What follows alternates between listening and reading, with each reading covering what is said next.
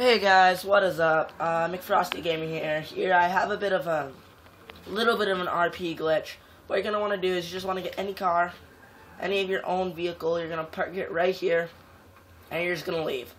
What you're then gonna do is just pull out any of your guns you want. You're gonna run around out here, and you're gonna get stars. So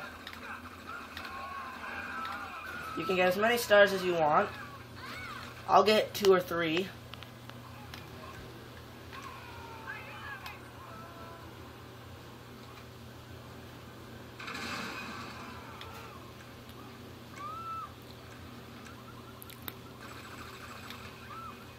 So just say I got two stars right now. See how it's not flashing? It's red and blue.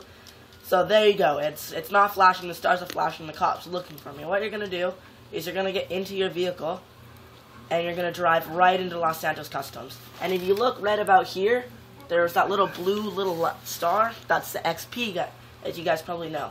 What you're going to just do then is you're just going to back out, and the cops won't be on you, and you will go up in RP. See? And you go up quite a bit for it, too.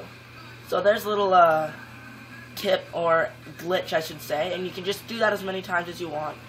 It's pretty repetitive but, uh, yeah, that's really all it takes. So, uh, thanks for watching, guys.